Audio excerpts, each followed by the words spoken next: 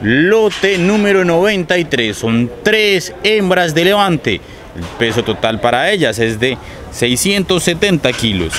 Peso promedio para cada una de 223 kilos procedentes de Puerto Boyacá. La base es de 5 mil pesos por kilo. Pesadas a la 1 y 6 de la tarde. Lote 93.